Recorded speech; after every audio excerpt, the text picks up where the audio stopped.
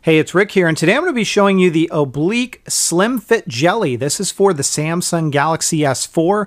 I think it's a beautiful case, has a real nice gradation here of black to blue. This is called graduation blue, but it does come in other colors. Here's the box that it ships in. It's UV coated to help prevent scratching on the back of this case. And it's kind of a hard shell back with a semi-flexible side that's a TPU material. The inside is really clean too.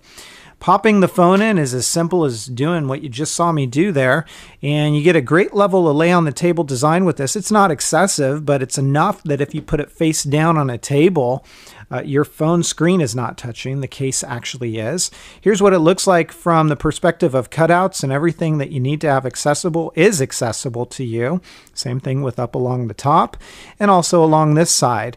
Now, the star of this show, in my opinion, is the back where I think it looks really pretty. It is going to show fingerprints. You can see me wiping it down here, uh, but you do have access to what you need to gain access to. There's some minor scratching on the back that I see as well.